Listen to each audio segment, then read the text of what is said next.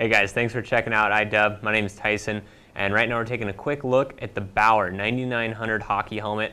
Uh, this is going to be the top of the line helmet from Bauer. Um, what they've actually done is they took the design of the 9500 and reworked it, um, and they came out with this. I think they've done a great job. Um, they definitely made some nice improvements on the helmet. Um, so taking a quick look on the exterior or the shell of the helmet, um, they use the same uh, shell design. So you have a two-piece system. You have the front portion as well as the back portion. Um, this is a tool-free adjustment, just as the other one was. So that's going to be with these two flips. Um, you can go ahead and just flip that up on both sides and that's going to allow you to expand or contract the helmet size. Um, so that's a nice feature. They also have a nice kind of clean look to it. Um, they've gone ahead and used that same logo design right here on the front, um, so that gives it a nice look. Um, they have that same ventilation system, so you have the holes in the front here, as well as the more traditional holes that allows that air to come across the helmet. Um, and they've actually used another material on here as well. You can kind of see the two-tone really well in this particular color scheme, um, but the materials are going to be slightly different between the white and the gray. Um, you can really see that kind of here, how this is actually able to bend a little bit, so it's going to be a little bit softer, and then you're going to get the core protection from um, the hard plastic, which is going to be the white region. Um, so going on from there, we'll go ahead and take a look at the inside of the helmet um, where you're going to really see the big differences on it. Um, another thing that they actually did on this helmet is they reworked the fit of the 9500.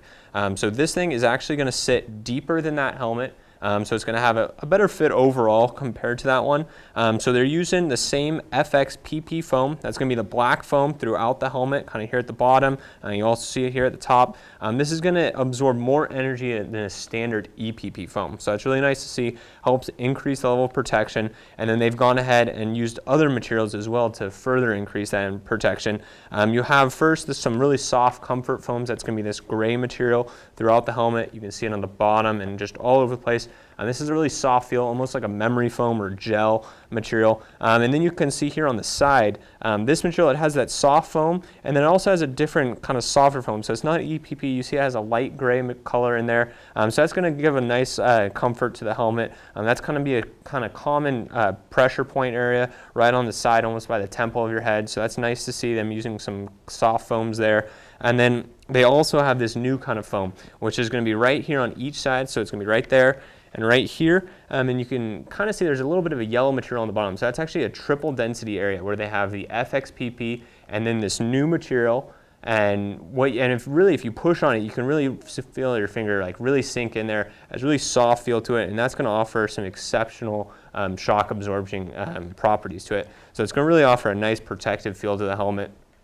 And then another thing, they also had that third adjustment feature to the helmet. So that's going to be this piece here. Um, you're actually able to adjust as far as how close it hugs to the head or how far back it is. Um, it's just going to be these two tabs right here. Um, so you just push in and slide them out to go inward as you can see, or you can go the other way. And it gives a nice customized fit to the overall helmet.